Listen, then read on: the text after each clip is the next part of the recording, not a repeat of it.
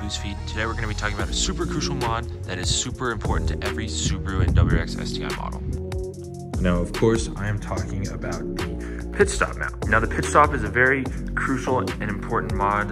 I think it's one that gets overlooked super easily, but what it does is at the top of the transmission and connects to the back of the firewall. Now, it's a super flimsy one that comes stock with every manual STI model. The stock ones are super flimsy, super slim, which allows for a lot of torque, whereas many companies such as Cobb make a very thick, dense, heavy metal one that will reduce flexion and allows for cleaner and crisper shifts. We're gonna get more into it once we get the stock one out. Installation is very simple. All you do is take off the intercooler and the pitch stop is pretty much presented. It's pretty much right there. We're gonna get to it. We're gonna get off the intercooler and then we're gonna go more into depth on the differences between these two. For starters, getting the intercooler off, super simple.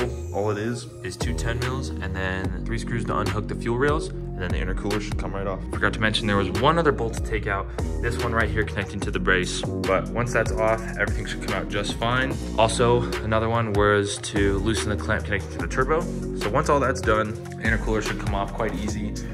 Here it is, nice and simple. No oil in there, which is great. So here's what we're gonna be replacing. This is the stock pitch stop. As you can see, it's plastic, it's not very thick, it looks pretty thin, pretty flexible. So we're gonna get that out, then we're gonna compare it to the Cobb one, and we'll see the major differences. Now that the pitch stop is out, we can do a side-by-side -side comparison. As you can see, the stock one from the car is plastic, it's thin, you know, it looks like with minimal torque, it's probably gonna flex quite a bit.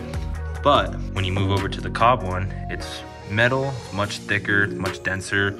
Uh, it's gonna be able to put up with a lot more torque. With this thing in, hopefully we should feel quite a bit of a difference. So we're gonna go ahead, and put the Cobb one in, and then we're gonna get some videos, feel a comparison. Hopefully it feels good. Let's also real quick, let's not forget how good the Tomei looks.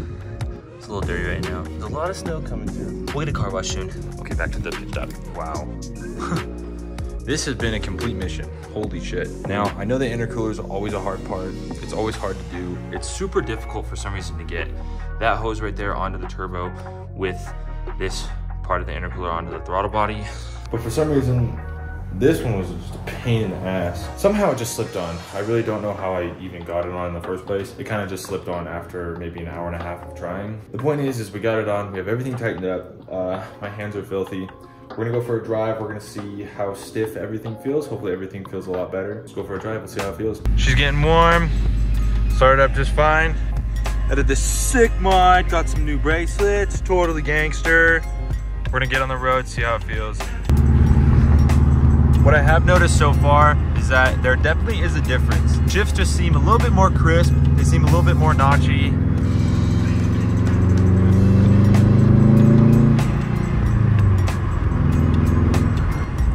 Downshifts feel much, much, much better. Before, it almost seemed like the car didn't want to downshift into a gear, but now it feels so much better.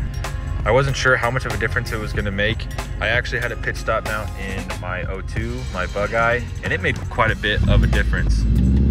But with the six speed, I wasn't too sure what it was gonna feel like. But I gotta admit, it feels pretty damn good. So I've been driving with the new pitch stop mount for about a day now. Um, I gotta say, there definitely is a difference. It's very slight. It's something that I think if somebody just hopped in uh, normally, they wouldn't really notice that much of a difference. But when driving this car every single day and driving your car every single day, I think you definitely will notice a difference. It was a pretty simple install. I think the hardest part was just getting the intercooler back on, which I do recommend doing a pitch stop. It's pretty simple to do. I think there is enough of a difference to make it worth it.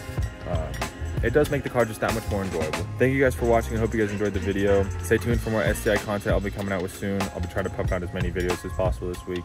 Thank you guys for watching. I'll see you guys next time.